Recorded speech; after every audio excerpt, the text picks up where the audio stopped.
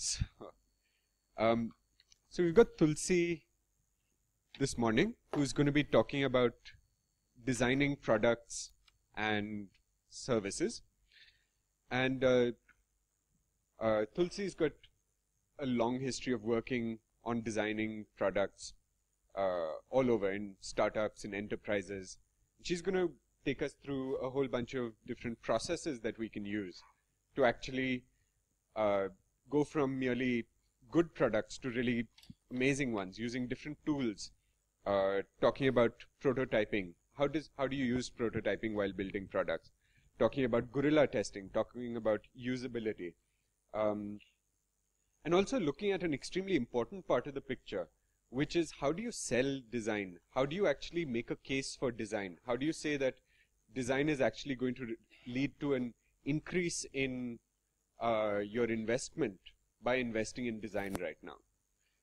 So Tulsi's uh, runs a product and design startup based in Hyderabad called Zuri Labs, which you can take a look at as well. Thank you.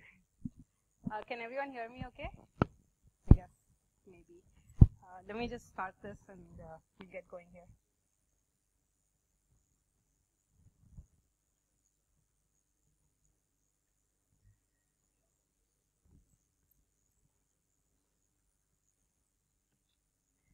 Okay, so uh, my talk is called High on Design. Um, I think I was telling somebody uh, last night, I think I was high maybe when I came up with the title of the talk. Uh, but basically what I'm going to be talking about is uh, some real world examples uh, that I've learned along the way. Um, my, my life also started off in engineering very similar to Navjot who spoke yesterday. And I moved from engineering to product management into design. And I sort of ended up full circle at design now. Um, I moved with my dog Zuri to India about a month and a half ago. I used to be in the US, um, and I just started my company called Zuri Labs. And we hope to work with nonprofits as well as smaller companies to um, help them realize their design of, uh, or their vision of having uh, innovative digital products on the internet. Um, I'm really happy to actually be part of this wonderful network um, and be part of the digital revolution in India. Uh, some of my contact information is uh, below, so I would love to hear from you. And even if you have any feedback, good or bad, about my talk, I would love to hear about it. Um, so today I'm going to be talking about design thinking. We won't delve too much into the processes of design thinking. We'll instead move into some real world exercises and examples that I've seen working, um, and then we'll move on to um, how to uh, empower your engineering teams because a good design is nothing without an engineering team to help you build it. So, what is design thinking and why is it so important? Uh, design thinking came up uh, from companies like IDEO as well as the design school in Stanford. Um, and you know, it's just an amazing institute and there's a lot of great work coming out of uh, there. Um, but basically, I think that design thinking gives companies this little design edge. Um, and if you look at companies that we all love, uh, you know, like I, I, know many of you have Apple computers, for example. Uh, the first time I got my Apple computer many years ago, I, I read an article about the sleep light in the Apple computer. And basically, the sleep light is a white light, and it mimics human sleeping patterns. So the first night when my Apple computer was shut down and was next to the bed, um, you know, I, I looked at it and I was like, oh, my little computer is sleeping as well. And you suddenly have this fondness towards your computer. And so I think that little piece of um, design in the Apple computer made me a brand evangelist for Apple. And I'm sure all of you have a similar story about Apple or you know your favorite brand. There was something that turned you over into just, from becoming just an average user to becoming a product advocate. So I think design is that key thing that can make that happen, that kind of leap of faith um, happen, and really, you know, in, um, kind of inspires customer loyalty. So in terms of, you know, when you're explaining to your boss, uh, you know, why is, why should I spend money on design? Or, you know, what's the return of in, on, in, on investment? Just think about how, like, uh, you know, well-designed products sort of sell themselves. Um, you know, you create like a network of advocates and brand evangelists that just sell the product for you. And I think that's really key and um, design can help that process. Um, so back to design thinking and why I think it's important. Or what is design thinking? Uh, according to Tim Brown, who's the um, head of IDEO, a really fantastic organization. If you haven't heard of it, go to their website. They have a lot of excellent content uh, that you can learn from. Um, but basically, you can read that. I'm not going to read it for you. Uh, but basically, what design thinking is is just a different way of thinking. Um, I think many of us are already doing it, and we're just putting a label on it.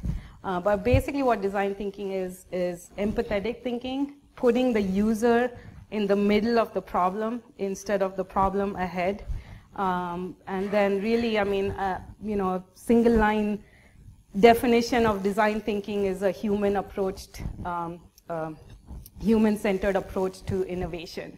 And so I think that's really key to um, uh, beautiful products. Put the user in front, put the user's problems in front, and really build the solution for that user to make that user happy, to make that user more empowered and save them time or something like that, but put that user in mind uh, in the center. So there are many, many different ways uh, that design thinking processes are defined. And while we sit and talk about process and things like that, I just want to clarify that not all processes work in all situations. So don't just blindly go back to your organization and say, uh, you know, like I read, I saw on Meta Refresh that I need to do these six things and my company is now going to be successful. Um, I think you need to really take ideas from here and then see how it will work within your own organizations, within your own um, structures and patterns. Um, so basically, design thinking, the four key stages I think in the design thinking process are define, with, where you basically define the user and your, the problem. Ideate, where you throw out ideas it's a very collaborative type of process. You don't judge during this process. There are no stupid ideas that come up from this process. I mean, there might be, but you don't judge other people's ideas. And um, I think uh, ideation is, is key to design thinking where you throw out a lot of ideas and then figure out what works. Uh, prototyping, of course, is really important, uh, where you go straight from ideation to prototyping. So put it in some form that you can then get feedback from users and get users to engage with it and give uh, feedback. I mean, again, it goes back to, you know, design thinking puts the user in the center. If you're not able to get feedback from the user, then, you know, you're not really design thinking. Then you might as well just build a software product and then put it out there and figure out um, what it does. Um, and then, of course, uh, build. Software product is not a software product if it's not built. So that's obviously quite obvious. And then learn. I think um, that, that too is important. Basically, once you put the product out there, don't just think that the product is out there and my users are using it. Engage with your users, see how they are engaging with the product. Um, I think yesterday Karthik mentioned about metrics. Uh, there are a lot of tools out there that you can actually measure the metrics of how users are using the product. Uh, you know, how's the mouse moving before they actually click on that button you want them to click on and things like that. So really measure all of that. Now I think every designer or many designers big challenge is how do they fit into the agile world? And I don't think there's any easy answer for this, unfortunately. Sorry. Um, I was talking to somebody yesterday where they, um, they said that in their organization, the designers are upfront and central. I would love to work in an organization like that, but unfortunately, never have. Uh, so usually what happens is uh, product management and engineering set the timelines uh, for a product.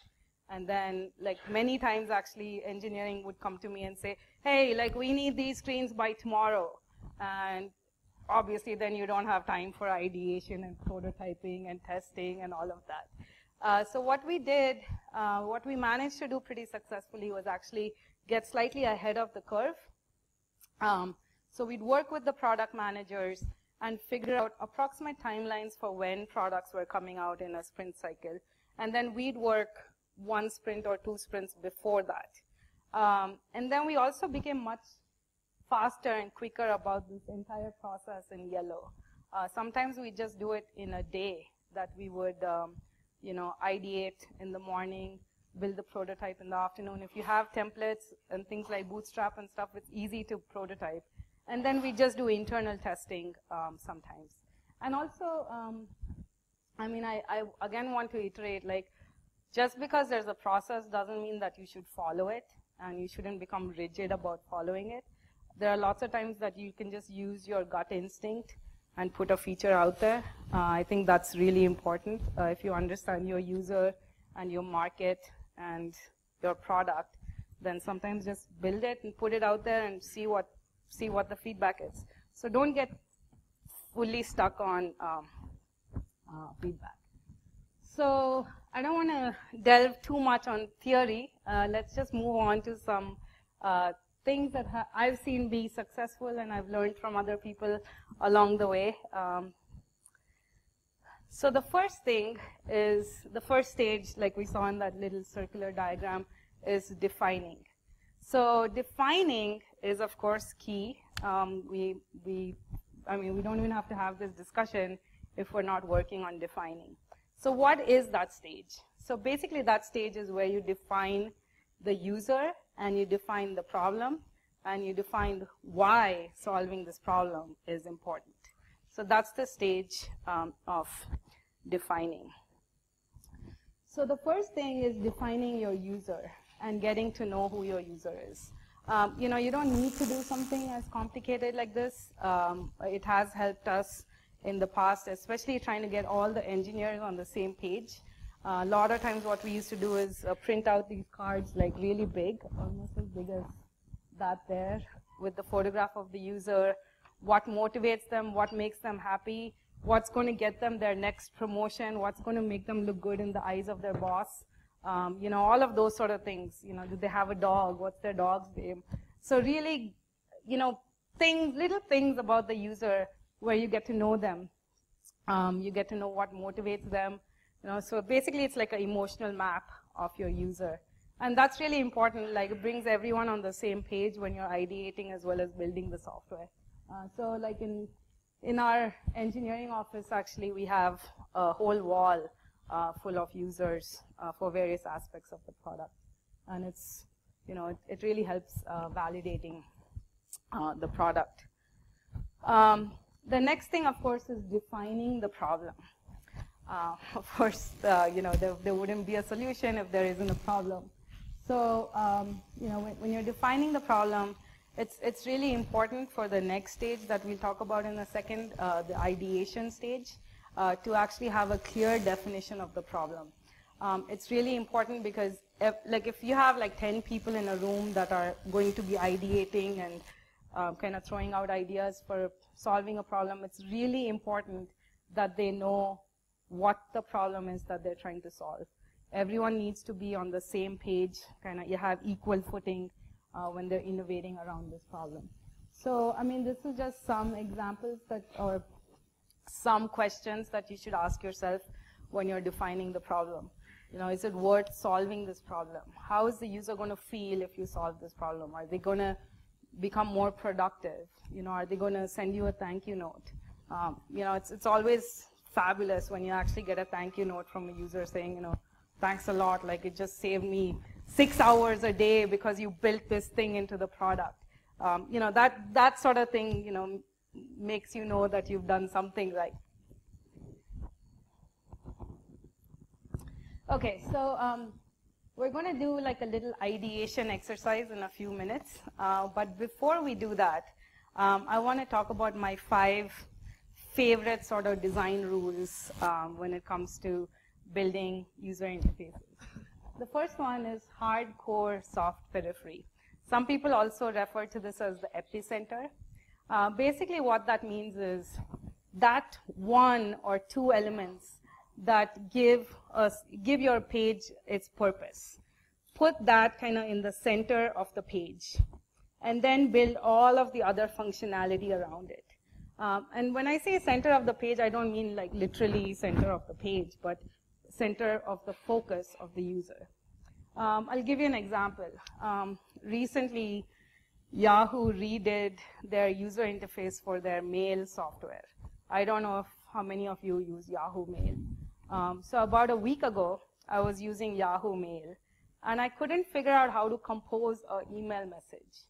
Um, I would think that that is core to Yahoo Mail, being able to send an email message. I shouldn't have to search the whole screen for that. So that's what I mean when um, designing from the core. Uh, so keep the core central.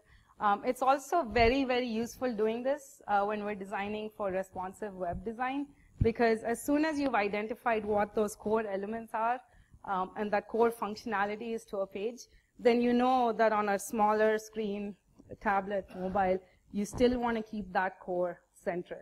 So it's a really, really useful uh, principle to have. The next one is the Pareto principle. It's actually some. It's actually a concept uh, that comes from economics and sort of unrelated to design, but uh, some designers have taken this and are running with it, and I think it's a useful principle. It's basically the 20-80 or 80-20 principle. You want to try and get the user to do 20% of the work required to achieve 80% of the result. Now, obviously, that's not always possible but it's something that would be great to strive for, basically. The third one, I think, is sort of uh, self-explanatory, uh, minimize distractions. Um, so that's just basically, if you don't need it on the screen, don't put it on the screen. Keep it minimal, keep the fonts readable, get rid of gradients and, you know, uber rounded corners and all of that stuff. Um, so, you know, just keep it simple, keep it approachable and you're probably doing a great job. Um, blank slates. So blank slate is basically sort of the welcome mat to your software application. Um, how does the user first feel when they enter the application? Like once they've logged in, they've come into the application, how does the user feel about the application? How do they engage with the application? Um, it's not necessarily showing them a message. It could be doing something for them. Um, I'll give you like a really great example. I think uh, Pinterest um, has like a perfect blank slate. Uh, the first time I signed into Pinterest or got my Pinterest account, um, I was a skeptic, like most people. And I was like, do we really need another social networking for images? Um, so then I said, okay, fine, I need to sign up and see what it's all about. So I sign up for Pinterest. And as soon as I sign up, the first thing it does is um, goes and checks what my interests are and comes back and says, we think you should have these five boards. So I'm like, okay, fine, create the five boards. And then it says, we think you should follow these 10 people. I'm like, okay, I'll follow those 10 people. And all of a sudden, in the next step, my Pinterest account is set up. I'm following 10 people. They have all this exciting stuff. And in just a few minutes, I've become an addict to Pinterest because they had an awesome blank slate. They thought of the user, they thought of engaging with the user, and they thought of making adoption of the product much easier. And I think that's something that we should all keep in mind. And finally, good defaults. Sorry, was there a question? No, okay. Um, good defaults. Um, good defaults, I don't know, I think some people might think that it's not like one of the key principles. I think it's a key principle because if you actually um, think of good defaults in the product, like uh, I'll give you an example. Uh, Zomato, like the first time I went to Zomato, it had already selected Hyderabad for me. Um, or Campaign Monitor. Uh, the first time I went to Campaign Monitor, it, it had selected my time zone, and it had gotten like a whole bunch of information about me through my Facebook account. Um, so I think the, the good thing about defaults is if you think about the defaults, then you realize that there are at least 20 questions you don't have to ask the user. you can answer those questions for you. And it sort of goes back to that whole, uh, you know, inspiring adoption of your software. Uh, asking the user less questions, assuming more about the user, and then personalizing based on what, um, what we assume. So now we're going to move into like a little ideation exercise. Uh, so all of you probably have a notebook. Um, this idea actually came from uh, someone at Google called Brynn Evans, and uh, it's, it's also talked about in the in the Go, Go Gamestorming book. So definitely get it if you like this exercise. So take your uh, take your notebook and take a piece of paper out of your notebook. So this exercise is called 685, um, which basically means six to eight ideas in five minutes. Uh, but because we don't have that much time, we're going to do a kind of shortened version of this, which is going to be four to six ideas in three minutes. So what you're going to do is fold the paper in half and then uh, fold it in one thirds.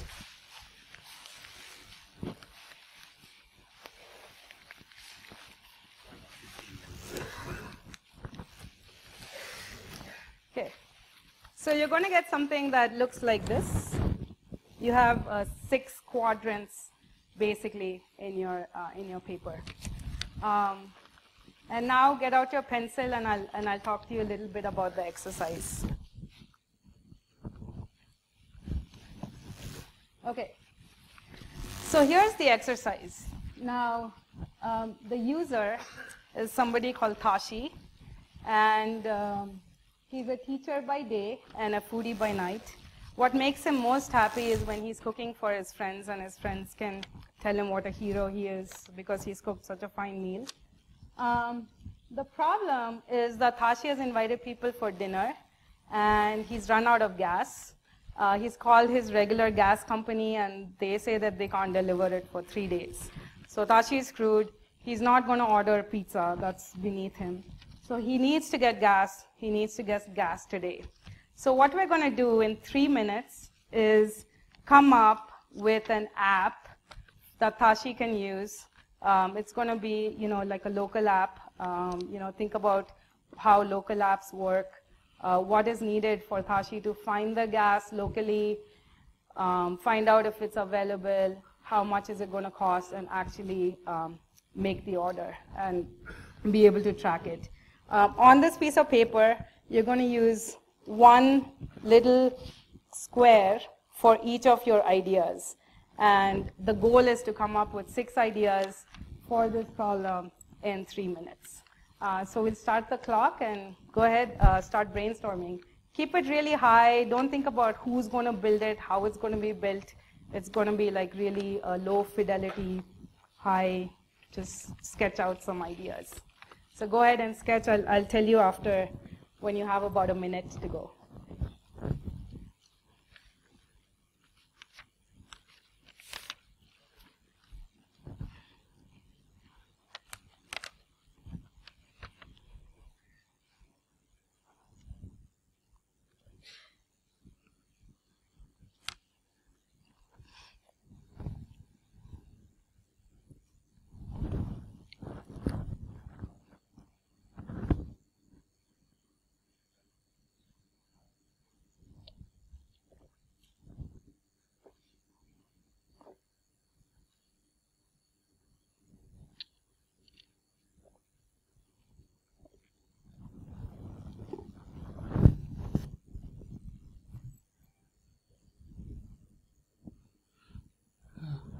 I have a question here. Yeah.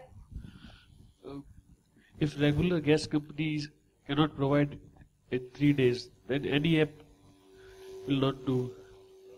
Well, yeah, again, like this is all an imagined world where there are perfect gas companies that provide gas today.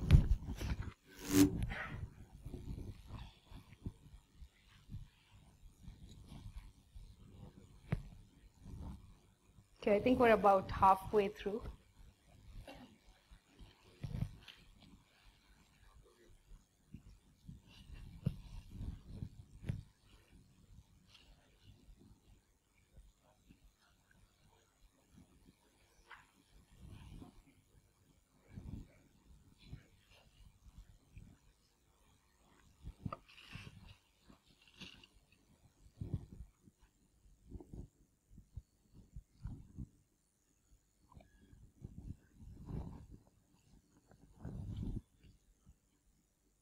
Have about 20 seconds to go.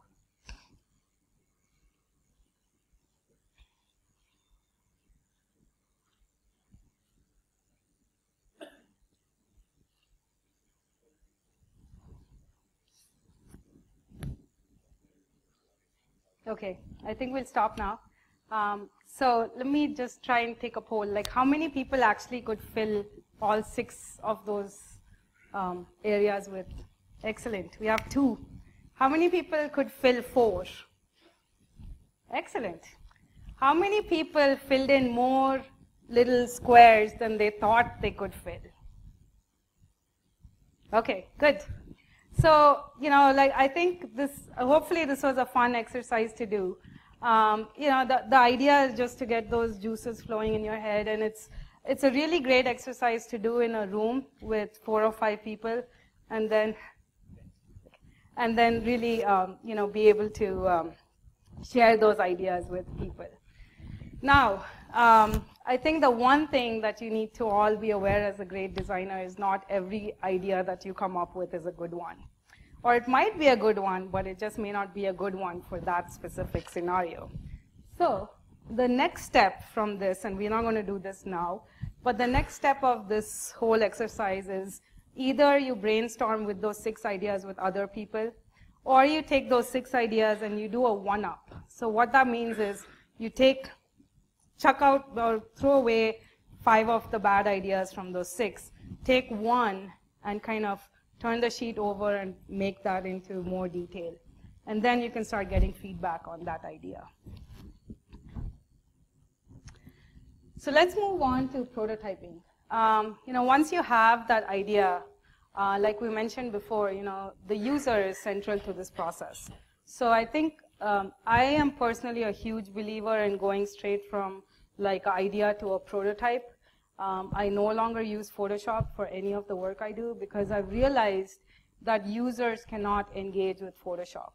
They don't know how that menu is going to pull down or that the button actually clicks or that there's a drop down or anything. So it's much nicer to go straight from the pro, uh, to a prototype. It's much more realistic for a user. You can get much better um, kind of um, uh, better feedback loop uh, that the user is in and really be able to engage with them much more realistically. Um, and especially with things like Twitter Bootstrap and other sort of frameworks like that, prototyping has become much, much easier. Uh, this specific sketch is actually from um, an interview that Dave Gray did with uh, Jason Fried. And if you haven't seen the interview, you should. It's half an hour of uh, sheer awesomeness. Um, now, of course, creating wireframes is always an alternative. I think if, if you don't have the skills to uh, do HTML, um, then definitely create uh, wireframes. But for those of you who don't do HTML and CSS and uh, think that you're designers, I think it's time to learn to do HTML, CSS, and JavaScript. Don't feel so scared. It's, it's not that difficult to do. Um, yeah, so you can always do wireframes. There are lots of uh, wireframing tools out there, FlairBuilder, and um, OmniGraffle and Balsamiq are my favorites, but there are a whole bunch of tools out there. Um, there are even some that are completely online as well. Okay, I guess the, the next important stage is testing. Um, you know, if, if you need to get feedback from your users. Um, now, when you approach your user, it's really, really important that you don't use jargon. Uh, there are a whole bunch of designers that I know who will go to the user and say, you know, this was our design process and here's how we thought about your problem and this is how we approached it and blah, blah, blah. The user is not interested in any of that. Instead, when you approach the user, ask them really directed questions like, here's the page, what's the first thing you would do on this page? Or how would you go about creating this element? Um, ask them questions like that so that they give you, um, they're able to engage and they're able to think about it. Uh, the other thing that I found very useful is actually having um, usability tests with other designers. Uh, they're able to engage with the product uh, differently, and you can actually have the designer talk you through what they are thinking as they're engaging with your prototype. Um, so that's also been very useful. Uh, you're probably wondering what guerilla testing is. Um, it's something that I found very useful and it's actually fun and actually you make friends. Uh, so lately what I've been doing whenever I uh, design a piece of software is I'll go to like a coffee shop or something, and especially if it's a B2C type of software. Um, take your prototype to a coffee shop, approach somebody who looks friendly, and tell them you'll buy a coffee, buy them a coffee if they'll engage with your product for five minutes. Uh, you get anonymous feedback, totally uh, kind of objective feedback, and it really helps you improve the product. Uh, there are also lots of uh, UX testing tools out there that allow you to do remote testing. Uh, my favorite is this thing called Intuit HQ. Uh, you can see here this was a TED, uh, the TED site being tested uh, for a redesign.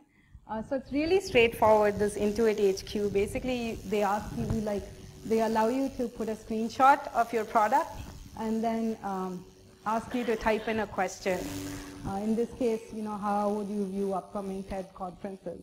And then it tracks the mouse, um, the mouse of the user, and then gives you results uh, based on the mouse tracking and things like that. So it's a really great uh, testing tool, and it's quite affordable. Of course, there are uh, several others.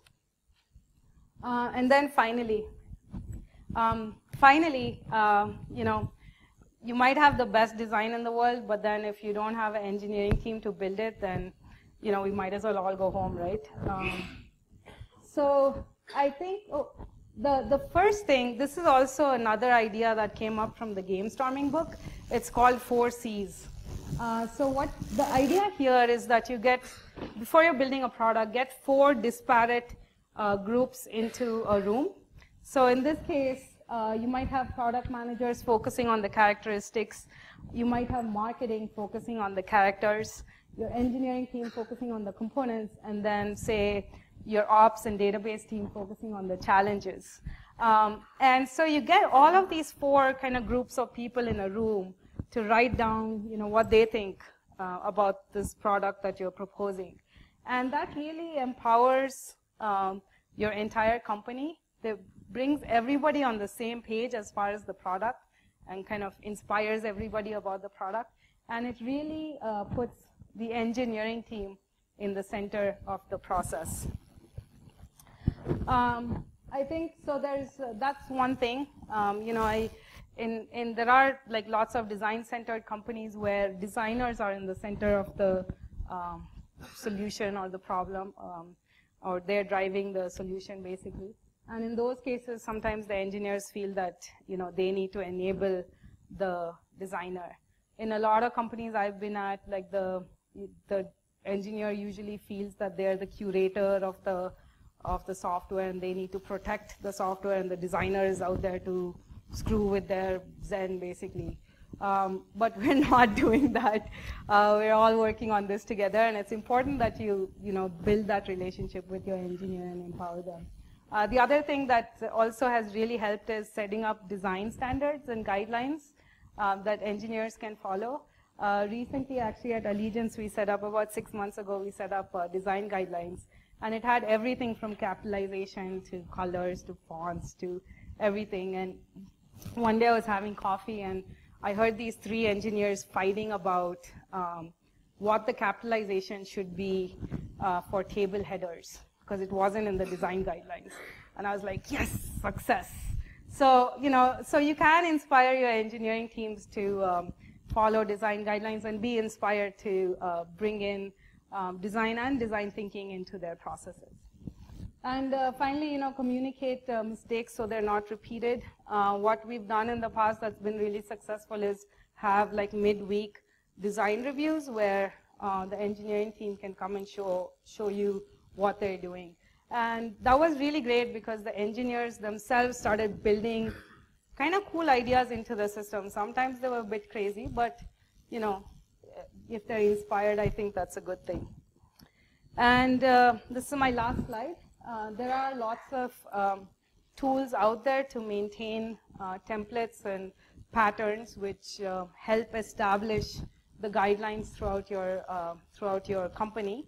Um, I think one of the, my favorite is Patternry, uh, where you can save your favorites and go back to it and refer to it in the future. Um, so that's the end of my talk.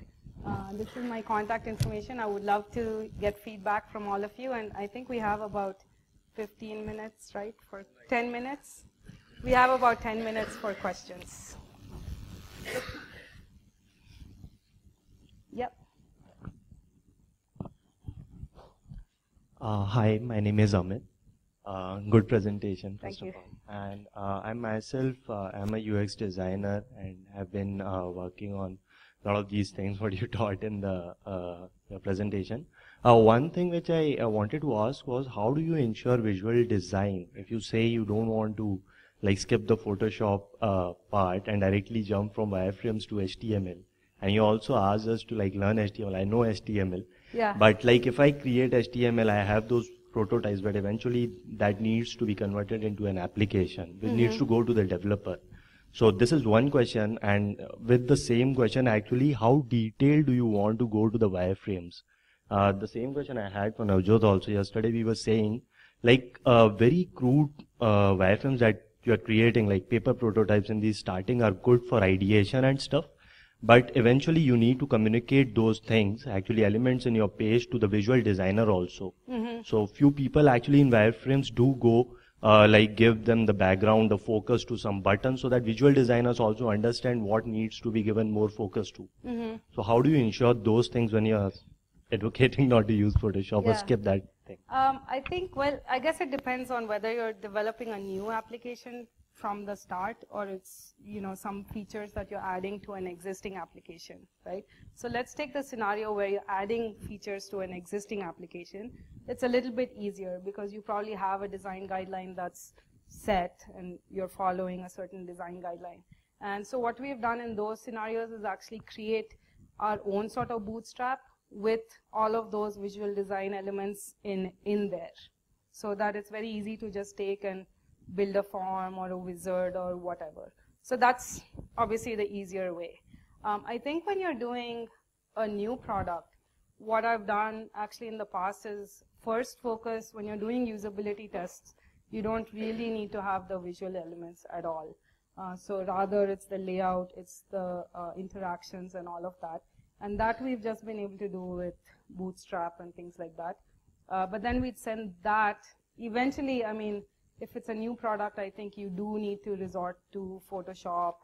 Um, there are actually a lot of visual designers now that are just working directly in CSS and HTML. Um, and that actually is my preference because a lot of times that thing that you build in Photoshop, when you build it in HTML, it doesn't really look the same. Or it takes like crazy amounts of effort to make it look the same. So I hope that answered your question. Yep. Hello. Cool. Um, earlier on, you had a slide which had this survey you can give users. So, like, what's your frustrations? What's your ideal experience? Now, on a lot of websites, there's like a bio description on the user profile page where they can edit their account. Have you seen any websites that actually ask those questions on that little user account page? It seems like a valuable thing to do. Yeah, no, I haven't, and I think that would be like maybe that's the next piece of software we build. Cool. Yeah. All right, sweet. Yeah, it seems like a good idea. I'll probably try it. Cool, sweet.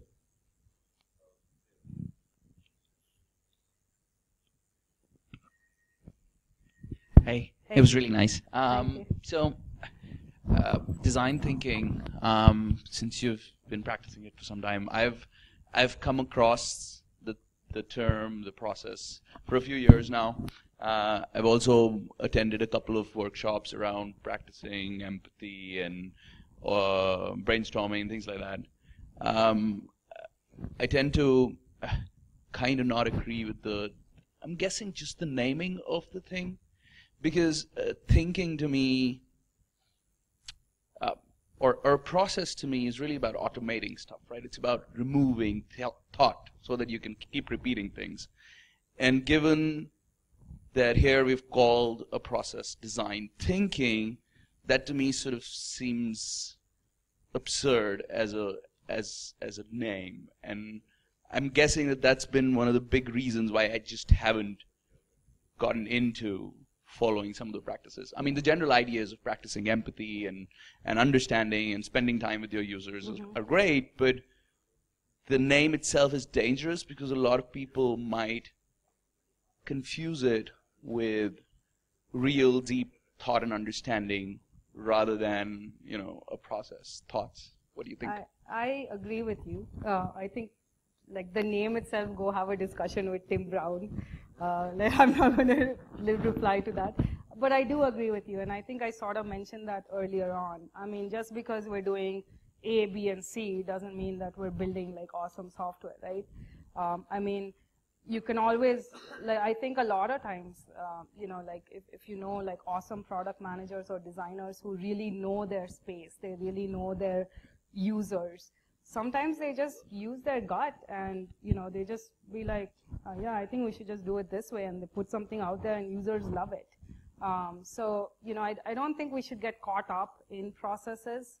And i also i think we talked a little bit about this last night i mean i agree with you. It is a little bit dangerous especially when enterprise customer companies uh, you know latch on to these sort of terms and then do it half-assed. Um, you know they don't they'll follow some of it, they'll try to do some things, and then like all of a sudden they'll tell their customers, yeah, you know, we're doing design thinking and our software rocks, but in reality it actually sucks. But um, so I think, I mean, I don't think we should. I agree with you that we shouldn't get carried away with these processes and things like that. I mean, the the whole goal of it is basically to design for the user, keeping the user in mind. So I think you know, we can forget about the term, but just remember the fact that you should design for your user. Hi. Um, hey, uh, we have a request for your UX testing tool slide. Somebody Oh. wants a copy of this, to see the slide. Yeah, I actually, um, I can s- I can send you the whole slide deck, and actually I have uh, four or five pages of resources. Oh, I don't know, but anyway, there are four or five slides of just resources that I use for this talk. All right. So we'll be putting that up online. Yeah, one question. So my question is that uh, what design process, according to you, will be suitable for a product which tries to bring in some kind of behavioral change in the users? So, You- what kind of change? You're trying to bring in new way of doing certain things. You're trying to bring in behavioral change in the users. So Okay. what uh, design process would you recommend for such kind of products? Uh, I'm not really sure. okay, I can give, give you. example. Yeah. So see, so a few years back there was no Facebook, right? Okay, I was yeah. hap- quite happy with Orkut. I was Yeah. happy with the way I used to do things. But then, uh, then comes Facebook, and I got a new way of doing thing, and I found it uh, quite cool. Um, probably because my friends were moving to Facebook, so I also moved to Facebook. Mm-hmm. But that's not what uh, I really wanted at that point of time. So how do you design such kind of products which tries to bring in this new way of doing things? Um, I don't know if I necessarily have an answer for that. Uh, there is like one really interesting book that I read recently. Uh, actually, was an article uh, called "The Fogg Method of Thinking," uh, and I think it's it's a method that uh, Twitter and Facebook and many of these social uh, sort of networking sites use a lot of. But it's a psychological type of approach to design um, where basically there's a, I'm forgetting exactly the terms, but there are three different things that happen. There's a trigger, uh, there's like a reason and something else, but th- the idea is that you try and segment all three into this at the same point of time for a user.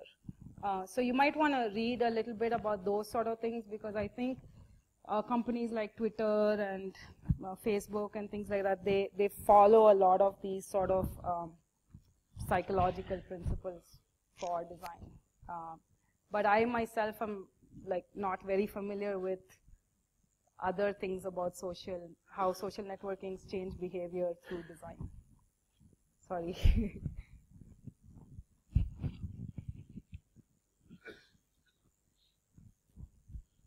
Hi, Yeah. I have one question. There.